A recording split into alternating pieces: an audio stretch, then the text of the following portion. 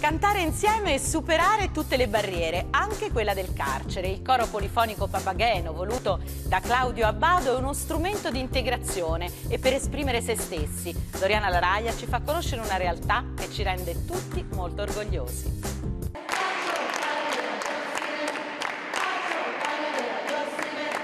Non mi sento un detenuto che sto dentro un carcere, mi sento che sono inserito dentro la società che mi posso prendere anche un'altra possibilità nella mia vita per cambiare quello che è sbagliato. Non siamo nati in matricola noi, allora bisogna andare avanti. Io, e la musica ti aiuta? La, la musica mi aiuta tantissimo.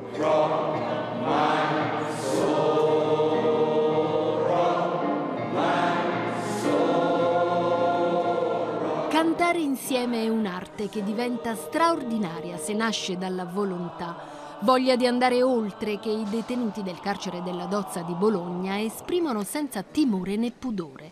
Non danno l'impressione di cantare, ma di scivolare sull'aria, proprio come faceva Claudio Abbado mentre dirigeva le sue orchestre, e lui ad aver ideato il coro polifonico Papageno, fra le tante eredità che il musicista ci ha lasciato e che l'associazione Mozart 2014 ha voluto fortemente tenere in vita.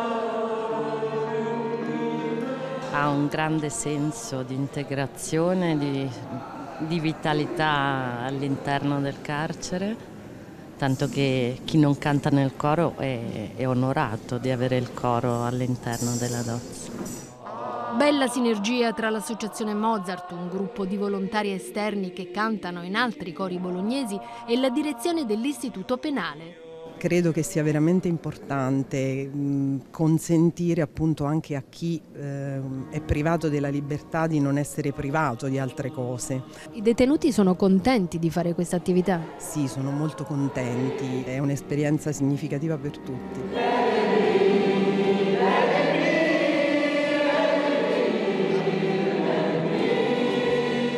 La musica esce lieve dalla cappella della Dozza, percepiamo tutta la passione che i detenuti sentono, a loro si chiede di solito di non esistere, anche grazie al canto riescono invece a vivere. C'è una differenza di passioni, di entusiasmi dentro e fuori? Beh, credo che la passione sia una cosa che uno ha dentro, quindi se c'è eh, si mantiene. Magari prima suonavo da solo, qua è una situazione diversa, per cui è anche più divertente confrontarsi con tutti gli altri. La realtà invisibile dietro le sbarre diventa a Bologna un'esperienza di amicizia e di integrazione. Non conosco alcuni paesi, ma tramite loro canzone eh, saprò eh, com'è la loro cultura, come il loro pensiero.